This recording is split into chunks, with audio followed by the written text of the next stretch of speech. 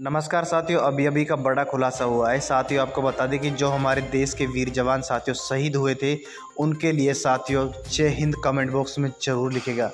जी हाँ साथियों, अब ऐसा खुलासा हुआ है कि उन्होंने साथियों 2500 लोगों की जान बचाई है। जी हाँ साथियों 2500 लोगों की जान बचाते हुए खुद साथियों आप देख सकते हैं शहीद हो गए। जी हाँ बड़ा खुलासा निकल कर सामने आ रहा है, जो बाड़मेर के उतरलाई एयरबस से गुरुवार रात नौ बजकर दस मिनट पर trainer fighter jet MiG 21 Bison से उड़ान भरी थी। चंद सेकंड में उसमें आग लग गई। इस समय वह एयरबेस से 40 किलोमीटर दूर भीमड़ा गाँव के ऊपर था।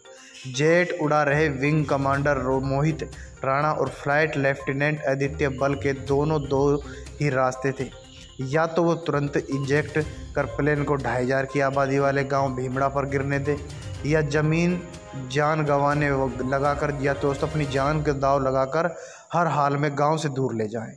दो ऑप्शन थे, या तो उसको वहीं पर लैंड कराएँ जल्दी से, और या उसको अपनी जान दाव पर लगाकर उसे आगे ले जाएँ गाँव से।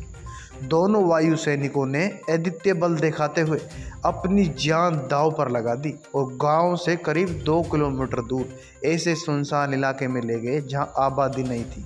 प्लेन एक बड़े धमाके के साथ रेत के टीले पर क्रेश हो गया।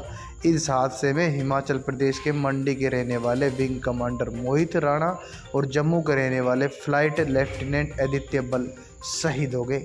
इन जाबाजों ने साथियों 2500 लोगों की जान बचाई है।